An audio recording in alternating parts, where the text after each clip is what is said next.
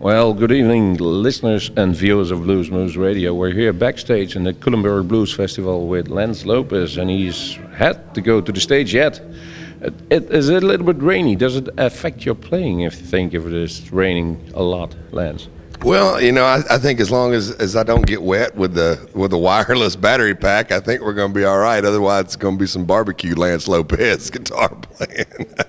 hey, for our listeners, Lance Lopez, if you can describe you in one sentence, and you may all use the words you know, what what would it be? Well, I, I would just say it's it's uh, you know it's uh, hardcore Texas blues rock. You know, I mean. Um, that's uh, that's pretty much what I what I what I do, and uh, carrying on the tradition of, you know, uh, those before me like ZZ Top and Stevie Ray Vaughan and Johnny Winter and uh, you know all the guys and came out of Texas, you know, playing blues rock, you know. Um, definitely trying to keep that going. Like the man said before, my name is Lance Lopez. I came all the way from Dallas, Texas, to play some blues for y'all tonight. Y'all ready?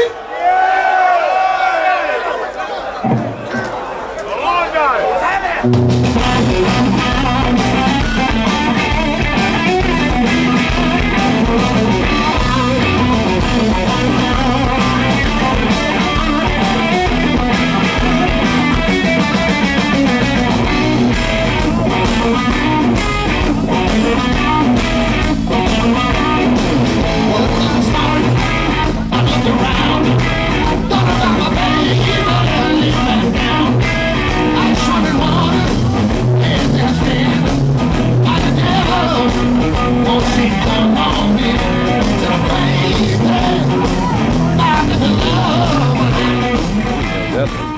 Isn't it isn't it hard to get in uh, Texas a place in the blues because in every joint has his own players who have to play everything before they even try to get allowed on stage. Uh, in Texas, yeah. yeah. I mean it's you know it's it's it's it's there. There's a lot of stuff going on. There's definitely a lot of. Uh, a lot of guitar players down in Texas, but there's a lot of different music in Texas. I mean, you know, of course, there's country and western, and uh, and there's a lot of heavy metal, believe it or not and um, uh, you know, then of course blues and, and rock and alternative. I mean, we've got every every style of music there is there. But uh, as far as you know, uh, yeah, I mean, you know, Austin's a, a, a little bit of a difficult scene. Uh, but Houston and Dallas have have a, their own unique thing, you know, and and uh, you know, so it's uh, you know, it's definitely it's its its own deal. You told me up front, the start of the interview, that you were with Andy Timmons, the house band of the Blue Cat Blues in Deep Ellum. That was a pretty renowned blues joint in Dallas. It was uh, Blue Cat Blues was a, was an amazing that was an amazing time period for the blues in the 1990s, and uh, I believe it opened around 1990 or 91, and and uh, continued on in the original location at Commerce and Good Latimer in Deep Ellum, where you know Deep Ellum was a historical place where Robert Johnson and uh, Blind Lemon Jefferson and Lead Belly and a lot of different Delta guys would come and sit and play all afternoon and and make money. You know, they would they would they would make money on the street. So it was really a special thing for um, uh, Blue Cat. It, it, really it really embodied that whole that whole thing. So. Uh, it stayed there at the original location until '99. Then it moved across the street. But around 97 or 98, uh, I was playing guitar with Lucky Peterson, and when I would come off the road with Lucky, Andy Timmons was, was playing, it was the house band for six months, and then he would go on the road with Olivia Newton John and play guitar with her, believe it or not. Yeah, you know, and great band. Simon Phillips was playing drums, it was amazing. And, um, and so I would take and I would come off the road with Lucky Peterson.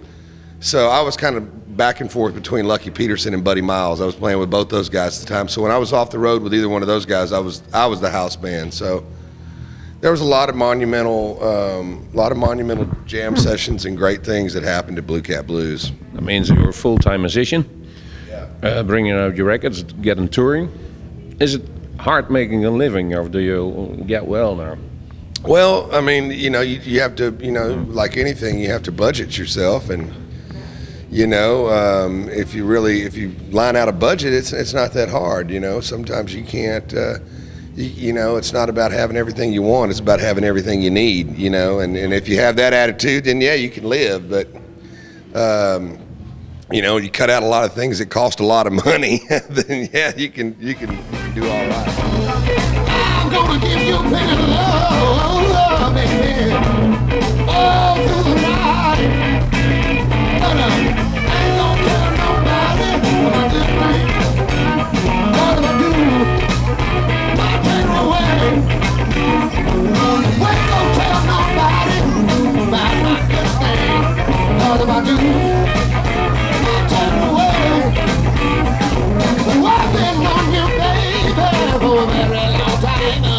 You're the one for me, baby. Ooh, we sexy woman. Naturally like. I'm gonna give you plenty of love, baby. All through the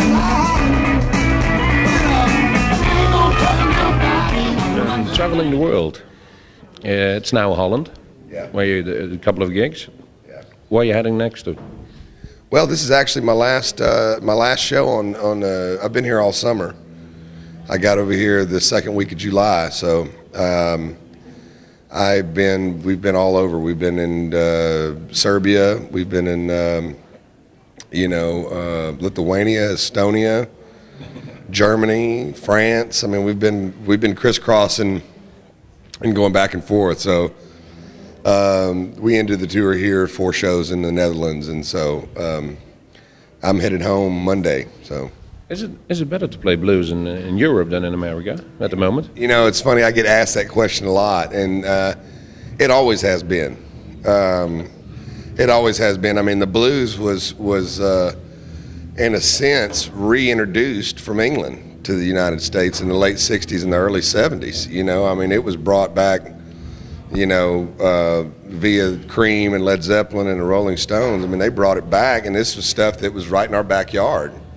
You know, I mean, that we, you know, especially the area I'm from, Louisiana and Texas. So I mean, that's that's foundation of music for us. But when it was brought back in the blues rock, is when it was commercially brought back in the late '60s and '70s, and you know, me as a kid, that's how I discovered it. I mean, I would look at the Led Zeppelin albums and the Cream albums and see who wrote the songs, and then I would go find that person.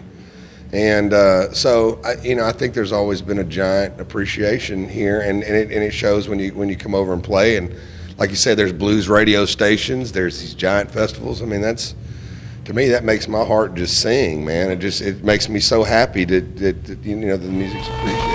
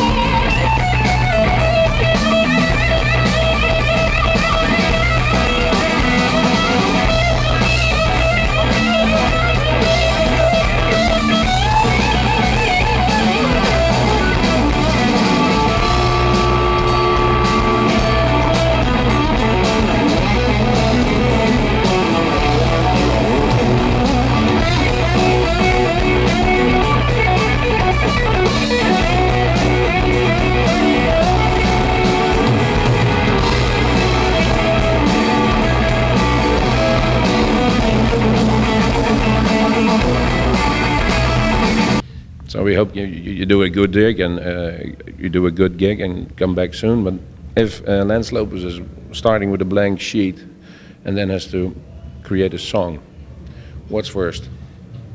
Well- a, a lick, a song, a lyric, a beat. Yeah, well, a lot of time it, it just depends. Sometimes I'll have a, a story, and it usually, you know, because it's the blues, it's uh, something that happened to me. You know, usually it's based on pretty bad relationships or something bad that happens. Broken chair. Yeah, yeah. All that kind of stuff. Yeah, absolutely, absolutely. So uh, no, we. Uh, but I, I, usually take a, you know, I take a, a, a situation that happened, you know, and and uh, and then kind of write around that, and I'll try to put the music, you know, as to you know. Line out the story, you know, that may set the mood of the story. But it's usually that's that's uh, you know it's something that uh, that's either happened to me or something I've seen happen or or uh, you know my view on things, you know, and and just depending on whatever that is, whatever you know, I, I write as it comes to me. So you know, it's I don't sit down and go, okay, I'm going to write you know song A, B, and C today and shoot for a uh, a number one sing. You know, I don't, I don't, I don't write that way. I write as a song comes to me, or as a riff comes. Sometimes I'll have a riff for two years before I do anything with it, and I'll, you know, slowly. I think it, it's, it's the best way as, as it comes to you to put this piece with this piece, and you know, do any, any help from a band over? You say that's a lot of guys who, who can soundboard with. Of, they help me with developing the song. Yeah, yeah, absolutely. I mean, there's there's a lot of friends uh, I definitely uh, definitely write with. Um, you know, um, in Texas. You know, um, and I have a lot of you know guys I write with, and, and really the last record I did, uh, really um, working with Jim Gaines, the producer, was really. Uh, he did uh, produce the Walter Trout record. Yeah, yeah, he's done. I mean, he's done. You know, I mean, a lot of records. I mean, Stevie Ray Vaughan, Santana, Steve Miller. I mean, it's uh, and and to have to work with Jim is really great because it takes my songwriting and condenses it and polishes it, and it's really it, it helps to work not only with a producer but a great producer. Yeah, that, that wonders me. What's the, the task of a producer for you? Because you had your song outlined, you go in the studio, you want to record it, and then somebody said, if you do this and do this, you listen to him. Yeah, absolutely it's uh, you know it's those kind of things. You know, it's it's um, especially somebody like Jim. You know, and I mean to have that that type of objectivity. You know, not just you know not just from a producer, but a great producer, and that's that's definitely you know where it, you, you see it start molding and shaping and polishing and becoming you know a, a musical piece of music a gig that's uh, just like tonight how you, you, you create it is there a strict set list or do you improvise all the way i, I uh, there is a set list and there's songs but it's it's probably 80% uh, 80% um, uh, improv- improvisation I mean, a lot of it. I mean, I, I, I, do. I have a song outline, but the solos are very stretched out, and the vocals I, I improvise improvise pretty much all the lead singing and lead guitar playing. So that means you have a, a good backline, a good a good guy's back, uh, the, the drummer, the bass player will have yeah. to read you if you yeah. go along. As long as as long as they you know as long as whoever's playing with me can hold a foundation, then I've got something I can I can build on. So, yeah, absolutely. You know, it's um, you know it's it's very important, but a lot of it is um, improvisation. What's the future for Lance Lopez? Well, uh, nearby. Well, I'm gonna uh, I'm headed back to the states this week, and I'm gonna have a little off time, and uh, you know I'm, I'm, coming back over to Europe in October, November. Uh, we're doing uh, the Stevie Ray Vaughan Remembrance Ride in uh, Arlington, Texas, on the 3rd of October, which is Stevie Ray's birthday, and it's a it's a statewide holiday in Texas. It's actually the first Sunday in October is Stevie Ray Vaughan Day in Texas. So we have a big giant concert and a lot of fellow Texas guitar players like Jim Suhler and Wes Jeans and. Um, uh, Alan Haynes and, and a lot of great great Texas players are uh, we all get together and, and play a giant concert for Stevie Ray. So why can't you get to go over in Europe and do the same thing here? well, maybe. Who knows? But uh, but yeah, but then I'm I'm I'm headed back on the road, headed to Jakarta, Indonesia, playing the Jakarta Festival, and then back over here in October to play mainly Germany, and then uh, and then the spring we're uh, we're doing some dates. Uh, we're we're back in back in Germany. We do some stuff with Johnny Winter in May, and and uh, I think we're going to do some stuff with Jeff Beck in November. So you know, we're looking at some pretty good shows coming back over. So we're going to watch you closely, but first, the thing we're going to do is watch this show. Okay, great. Lance, thank you very much for Blues Moose Radio. Right on, man. Thank you. What y'all think? Is that the blues all right?